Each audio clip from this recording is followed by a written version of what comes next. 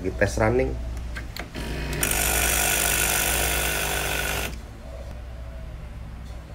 Ini mesin kecil ya jadi jangan disamakan sistemnya seperti mesin komersil. Memang seperti ini karakter-karakter mesin-mesin kecil ya.